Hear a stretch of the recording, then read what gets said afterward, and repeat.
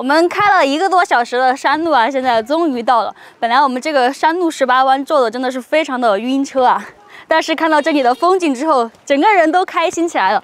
现在就带大家去看一下，这个是我们这边自然形成的一个油菜花海啊，大家可以看一下，非常的漂亮。然后这边有非常多的人来这边打卡。我们现在已经到了这个花海这里啊，大家看一下这个花海是不是非常的漂亮？然后大家看一下对面那个山峰，那个山峰非常的陡峭啊。然后这边的村民也是非常的聪明，他们就把这片花海称为绝壁花海，就是和那个山峰啊相呼应。这样一听，绝壁花海是不是就有网红景点的意思？现在这个景点啊，呃，已经在我们恩施非常的出名了，欢迎大家也过来打卡哟。现在我们带大家去看一下我们这边的景色，走吧。